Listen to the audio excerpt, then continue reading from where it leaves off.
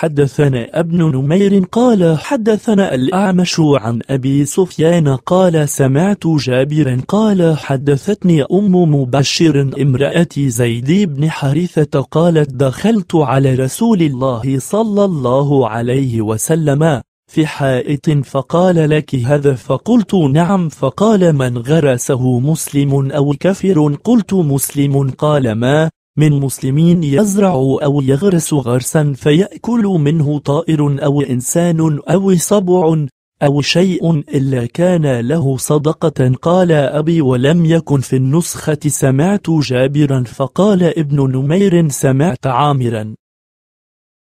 حدثنا حجاج قال أخبرني ابن جريج قال أخبرني أبو الزبير أنه سمع جابر قال حدثتني أم مبشر أنها سمعت رسول الله صلى الله عليه وسلم عند حفصة يقول ليدخل النار إن شاء الله من أصحاب الشجرة أحد الذين بايعوا تحتها فقالت بلى يا رسول الله فانتهرها فقالت حفصة وإن منكم إلا واردها فقال النبي صلى الله عليه وسلم قد قال الله عز وجل ثم ننجي الذين اتقوا ونذر الظالمين فيها جثيا